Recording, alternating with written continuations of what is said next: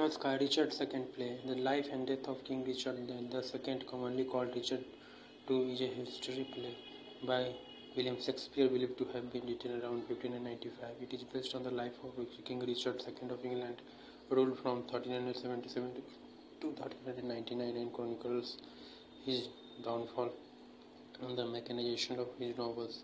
It is the first part of a trilogy referred to, some, referred to by some scholars as the Henriade, followed by three plays about Richard's successors, Henry IV, Part 1, Henry IV, Part 2, Henry, and Henry V. The entry of Richard and Bolingbroke into London from William Shakespeare's Richard II Act 5 into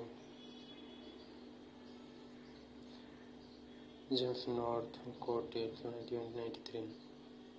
Although the first volume of section 23 includes the play among the stories, an early quarto edition of 1597 calls it the tragedy of King of the tragedy of King Richard II.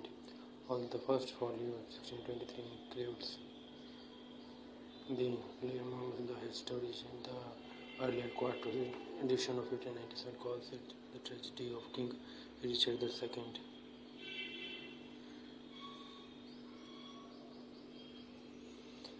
धन्यवाद Thank you so much. All the best.